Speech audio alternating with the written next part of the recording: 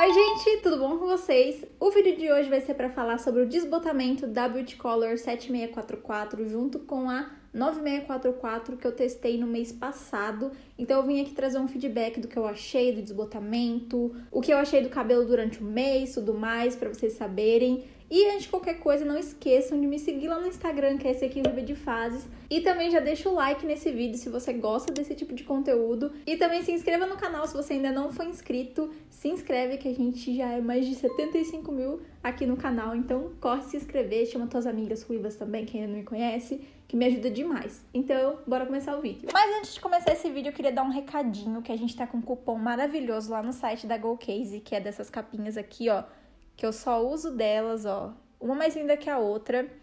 E eu tô sempre mostrando para vocês lá no Instagram, fazendo foto, para vocês verem. Então, no mês de junho, usando o meu cupom, que é GORUIVA10, você vai ganhar 15% de desconto mais frete grátis. Então, corre pro site aproveitar que esse cupom tá valendo pro mês de junho, com todos esses descontos e frete grátis. Então, corre aproveitar. Vou deixar o link aqui na descrição, tá bom? É só você clicar e colocar o meu cupom na hora de fazer a sua compra, tá? Tem um espacinho lá de cupom, é só colocar lá e aplicar que você já vai ganhar o desconto.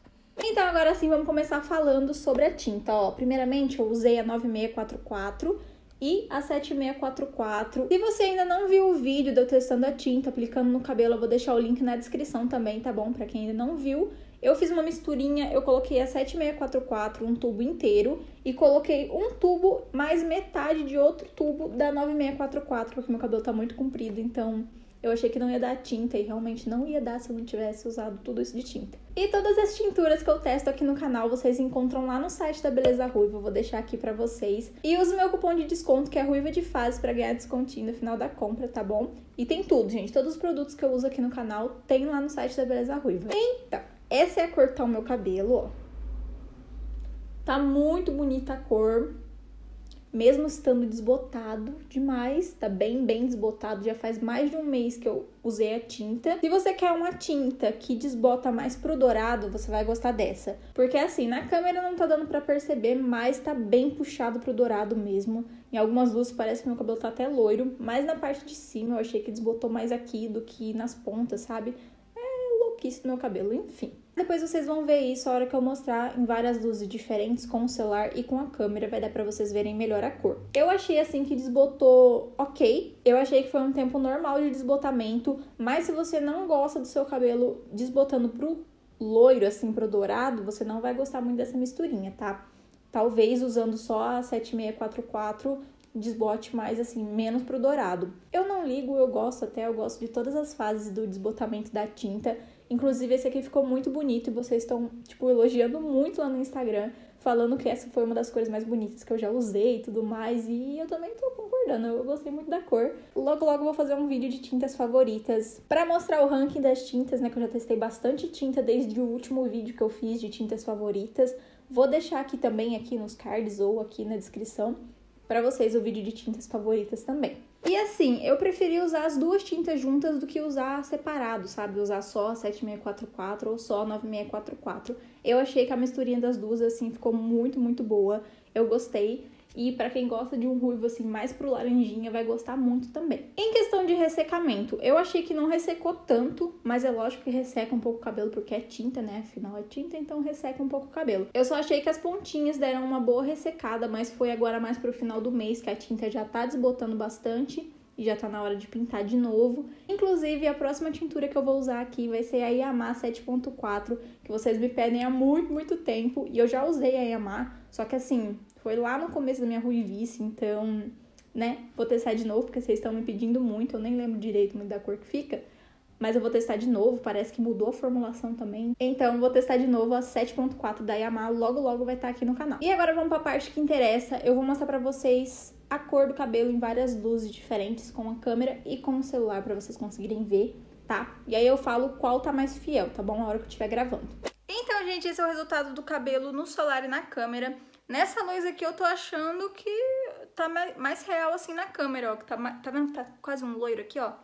Aqui na parte de cima. No celular eu achei que, que a cor tá mais escura do que eu realmente estou vendo, sabe? Então acho que aqui na câmera, ó, tá mais fiel. Agora eu vou lá na cozinha, que é na luz natural. Aqui eu tô em luz artificial. Então, vou lá na cozinha agora mostrar pra vocês. Nossa, tô com a língua enrolada hoje, meu Deus. E aqui eu tô na cozinha, ó. Hoje o tempo tá nublado, não tá sol, pra mostrar pra vocês diretamente no sol. E aqui tá bem parecida a cor que eu tô vendo realmente, assim, na câmera e no celular. Só que no celular tá um pouquinho mais escuro e na câmera tá um pouquinho mais claro, que é como realmente eu tô vendo a cor do meu cabelo. Agora eu vou lá fora pra gente ver em outra luz. E aqui eu tô no fundo de casa, ó, como eu falei, não tá sol hoje, então não vai dar pra mostrar no sol. Mas tá vendo que tá bem desbotadinho aqui, ó, nessa parte de cima, principalmente. E nas pontas nem tanto. E a cor mais real eu achei que tá na câmera também, viu? E no celular tá um pouco mais escuro. Então, se você gostou do vídeo de hoje, por favorzinho, deixa seu like aqui já, tá bom? Me segue lá no Instagram, que é esse aqui, o Ruivo de Fases. E também se inscreva no canal se você ainda não foi inscrito, tá bom? A gente tá crescendo cada vez mais aqui no YouTube. Muito obrigada por vocês estarem aqui desde tanto tempo. Tem gente aqui que tá, ó, faz muito, muito tempo. Então, muito, muito obrigada. E se você conhecer alguém que é ruivinha e ainda não me conhece, marca aqui, tá bom? Marca lá no Instagram também para me conhecer, que me ajuda demais. Mas então, basicamente, a tinta da Beauty Color é muito boa para quem não quer gastar tanto e quer ter um resultado muito bom.